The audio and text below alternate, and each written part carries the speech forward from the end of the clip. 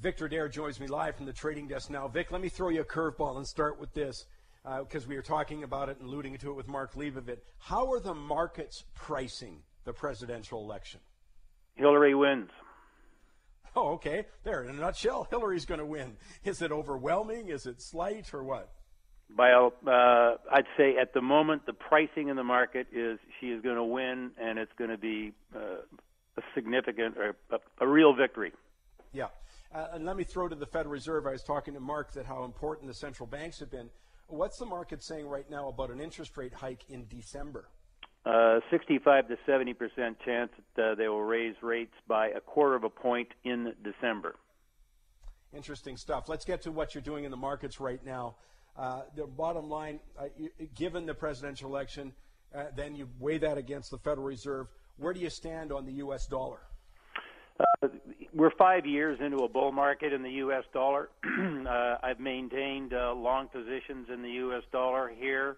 I am uh, long of the U.S. dollar index against a basket of currencies. I'm also net short of the Canadian dollar, the euro dollar, and the Australian dollar. I'm looking for the U.S. dollar to keep going higher. With the Canadian in particular, we closed at a six month low here this week. Um, Canada in the last week or so was unable to get any lift from this uh, 16% rally we had in WTI, which normally you would have thought Canada would do better. Uh, I think if crude starts to slip back lower here, and I do think it will, that that'll put more pressure on Canada.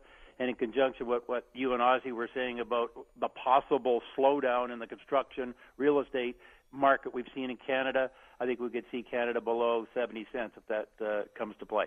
Yeah, I think it's a, a great point you're making about uh, when you watch how a market reacts to a piece that was otherwise very good news for the Canadian, which would be the rise in, in oil, and yet it didn't react. That's I think that's a big negative also. But let me get I got to get two more in on you here, Vic. What's your position on crude? I know that you were establishing short positions when it was around $49, $50, going back a uh, you know month and right. a half.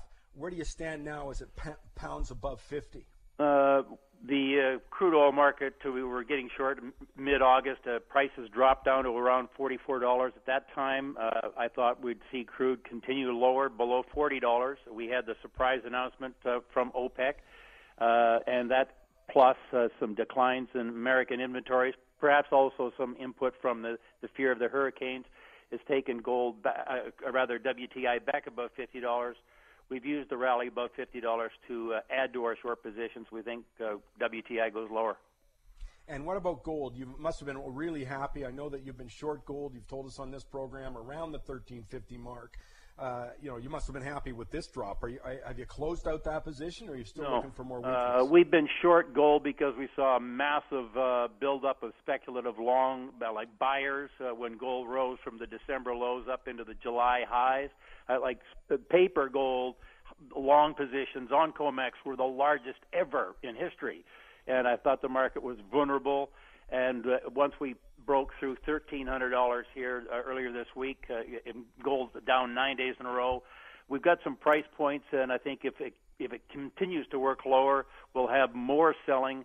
We've seen maybe 20% of those speculative long positions liquidated. I think the market is still vulnerable, so we, we remain short. You're going to have a happy. You've you've had a very good week in these markets. You're going to have a happy Thanksgiving. Uh, go out and have one, Vic. Mike, uh, you too. Best wishes to you and your family for a great weekend.